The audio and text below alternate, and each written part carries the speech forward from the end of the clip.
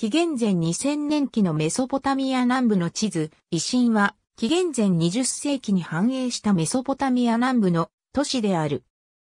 シュメール時代の維新王については知られておらず、維新王朝といえば、ウル第三王朝の衰退に乗じて、独立を果たした南部メソポタミアのアムル人国家、維新第一王朝のことを指す。都市神はグラ。現在のイシャン、アルバフリアと遺跡が維新史であるとされている。20世紀に2度の大規模発掘調査がなされ、ジックラトや宮殿が発見されている。最古の居住跡は、ウバイド時代にまで遡るが、シュメール時代までの歴史を明らかにする情報はほとんど存在しない。上述の通り、シュメール時代期まで維新史の歴史はほとんど明らかになっていない。維新史が歴史に名を表したのは、ウル第三王朝の末期頃からであり、同王朝の将軍であったアムル人、イシュビエラが紀元前2017年頃に維新史を拠点に独立したのを契機にメソポタミア政治史に大きく登場することとなった。これ以後、バビロン第一王朝の王ハンムラビがメソポタミアを統一するまでの時代を維新ラルサ時代という。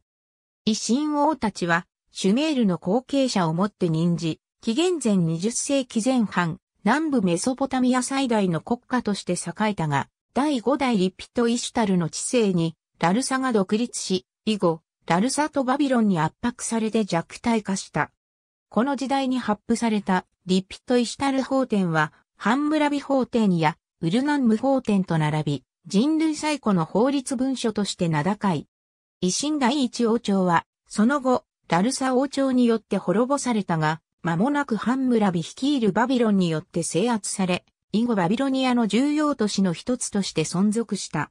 カッシート朝時代にも、この都市が地方の中心地であったと考えられる。カッシート朝が滅亡した後、この都市を拠点にした王朝がマルドゥクカビトアヘッシュによって再び成立した。これを維新第二王朝と呼ぶ。ただしマルドゥクカビトアヘッシュは維新の出身ではあったが、維新第二王朝の王たちは基本的にバビロンを拠点としている。この王朝の中でも最も巧妙な王はネブカドネザル一世であり、彼はカッシート朝滅亡時にエラムによって奪われていたバビロンの都市神マルドゥク神の心臓をエラムから取り戻してマルドゥク震災史を復活された。これはバビロニアにおいて政治的にも宗教的にも重大な意味を持っていたらしく、ネブカドネザル一世の勝利を扱った文学作品が多数残されている。しかし、同王朝の後半にはアッシリアの勢力が拡大し、その圧迫によって維新第二王朝は混乱し、バビロニアは分裂状態となった。